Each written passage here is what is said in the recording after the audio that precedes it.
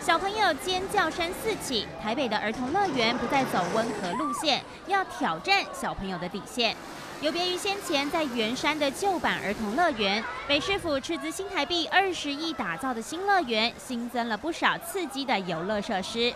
尖叫声最多的就属这个儿童版的自由落体，吓得小朋友哀哀叫。很可怕。那你觉得好玩吗？你想要再做一次吗？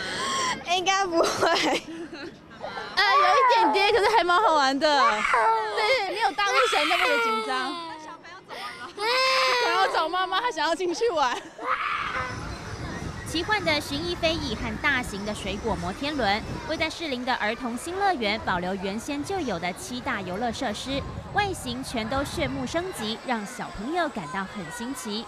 不过人气最旺的还是新增的六项设施，包括先前没看过的海盗船和云霄飞车，不止小朋友抢着要排队，大朋友也忍不住一玩再玩。很多次，所以已经麻痹了，就觉得还就很刺激这样。有这么好玩，可以做很多次。对啊对啊对啊。嗯会害怕吗？呃，不会，不会啊。那这是第一次坐云霄飞车吗？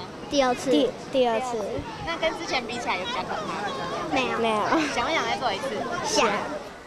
圆山的儿童乐园走过八十年，是许多台北人专属的童年回忆。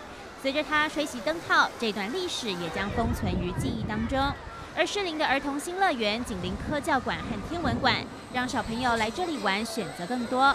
这一座全台规模最大的公营乐园将继续接棒，陪伴更多小朋友长大。中央社记者洪黄军、张雅婷特别报道。